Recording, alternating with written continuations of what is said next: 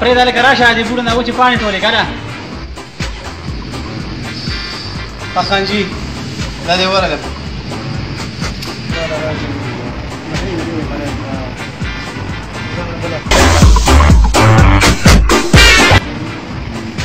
لکه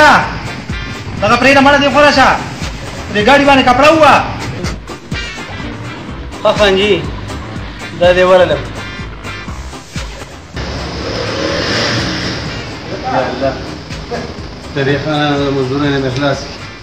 ډېر زیات یې تنګ کړی په خپل منځ کې وران ایجاد دي نو اوس موږ ستړي ستومانه کړو یو ویدا وکړو بل ویدا وکړو کس یو یو کارونه شپېته دي دا ټول یا داسې لګېږي خان هماړه ته زما ته پوښتنه وکړه نو یې کته ته خو راشه دې خو راشه ته وایې کوم پکې خان دې خو راشه دې خو راشه لکه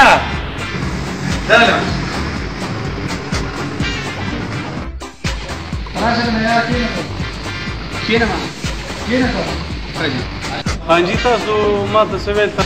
په دې درې وړو خانانو کې تا د کم یو خان ښه ښکاري یاره جي اوس یې عجیبه سوال کوئ جي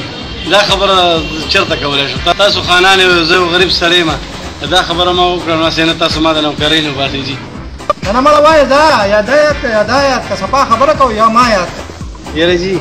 زه یم دا خبره به ما باندې مه کوئ زه غریب سړی یم اس چې نستا سو په دې خبره ما وای مړه وای دا جی زما په نوکرۍ باندې سر سر پرې روزي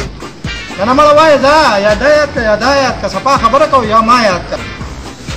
یره جی کله خبره کوم از کم تاسو په ما باندې رښتیا کوي کنه نو زبره ته دوی ما چې د بد خنزیر په زامنو کې خچرته یان بګره سړی دی سړی ویل